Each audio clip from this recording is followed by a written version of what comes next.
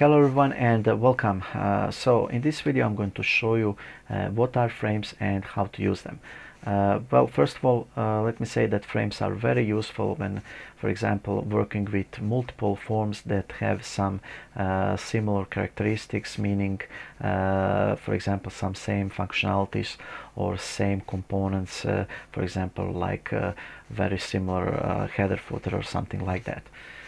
Well let me demonstrate. For example, uh, let's let's just say that I want that each of my forms, uh, uh, no matter how many are they, uh, have a button here down below.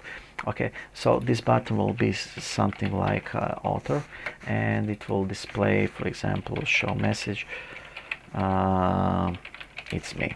Okay, so that's pretty much what I want each form to have. So if I have, for example, uh, let's create two more forms.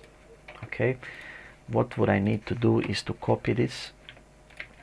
Okay, and copy it here, and then uh, again manually copying the code.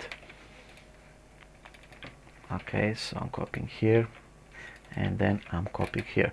Okay, as you can see, uh, all I did was pretty much doing a copy paste but uh, in this in this case it's not so hard but again uh, not so rarely you have uh, more complex applications that have for example 20 30 50 or 100 forms or more.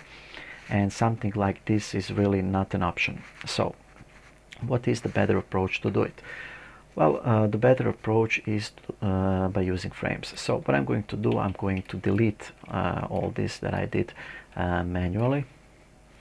So I'm going to delete this code and the components. And uh, what I'm going to do, I'm going to create a frame. Uh, how to create a frame, file new, other, C++ builder files and VCL frame.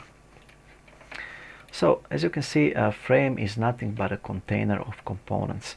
And I'm going to create a small container that pretty much only has a place for a button here.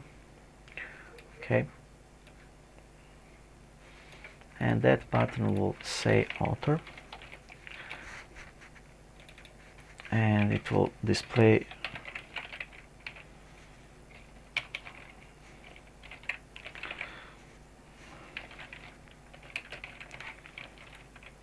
okay.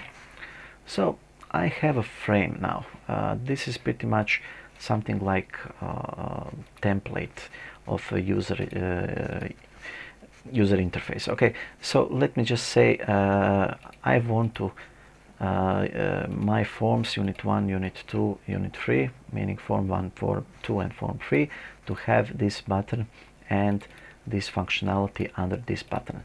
So what I'm going to do is click here frames and drop it here.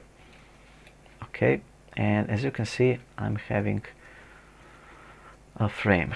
So I'll put it here and then again I'll put that same frame on the other uh, form and then on the third form.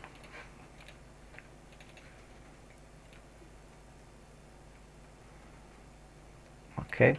So I have uh, that frame on all three forms. So uh, what is the advantage of this? Well the advantage of this is that all three forms have uh, are using the same functionality the functionality that is defined on the frame. So when clicking this button no matter what form uh, are you using it will uh, show message it's me okay let's try it. So I'll run the application. Author it's me. Okay. Uh, where this is useful is when you need to change something. For example I, I don't want this uh, for example to uh, say it's me uh, it's me and the team for example. Okay?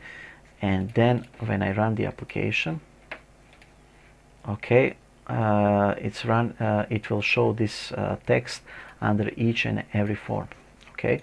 Uh, also let's just say that I want to expand this. Uh, for example I don't want just to have the author I want to have a link for example. Then I can uh, expand this a bit. Uh, let's just say that this is uh, some text link to our uh, web page. Uh, I just say some font here. Okay and uh, as you can see this link now is visible on all other forms.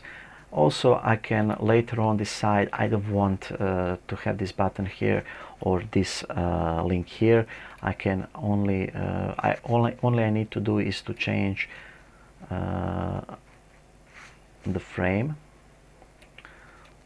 Okay and automatically uh, the component order is changed on all uh, the forms using that frame. Uh, so that uh, that is the reason why this is so useful. It's very easy to change the functionality or add or change existing components on the frame but also the advantage is that for example uh, you don't need to uh, use the same functionality that is described here or you don't need to uh, say I want this link to be uh, right here on every form. So for example uh, I want to say that only on this form 1 I want to have this link for example uh, right and this button here okay? And again when I run the application uh, only for, uh, for form 1 I will have a button on the left and a link on the right but, but all other forms are uh, having uh, a default uh, frame container. Okay so uh, also I, I can also say I don't want you to show me the text that is displayed by by what's defined in the frame I want uh, something else. When clicking this button in form 1 so when I run this okay it's form 1 so as you can see I didn't use the functionality defined in the frame for the form 1 but all other forms are using that functionality. Okay guys and that's uh, how to use frames and why uh, they are so useful. Like I said it's very easy uh, to use them and it's uh, very very uh, helpful uh, to have them when having a multiple forms having some same functionalities or some same components. Thank you guys for watching and like always see you next time